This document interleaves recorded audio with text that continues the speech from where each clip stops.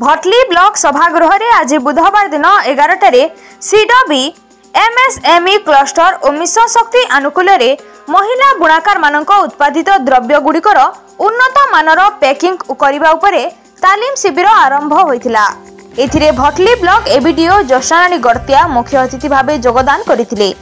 ଅନ୍ୟମାନଙ୍କ ମଧ୍ୟରେ ମିଶନ ଶକ୍ତିର BPM Sarat Nayak master trainer SIDBI cluster କର୍ମଚାରୀ କାବ୍ୟ ସକ୍ସେନା ରଚିତ କୀର୍ତ୍ତିମାନ ପ୍ରମୁଖ ଯୋଗଦେଇ ତାଲିମ ପ୍ରଦାନ କରିଥିଲେ।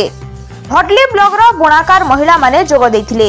ଏହି ତାଲିମ ଶିବିରରେ ଉତ୍ପାଦିତ ଶାଢ଼ୀ ପୋଷାକ ଗୁଡ଼ିକ ଉନ୍ନତ ଭାବେ ବିନା ପ୍ଲାଷ୍ଟିକ ବ୍ୟବହାର କରି କିଭଳି ଭାବରେ ପ୍ୟାକିଂ କରାଯିବ ଏବଂ ତାହା ସୁନ୍ଦର ହେବ ସେ ବିଷୟରେ ତାଲିମ ଦେଇଥିଲେ।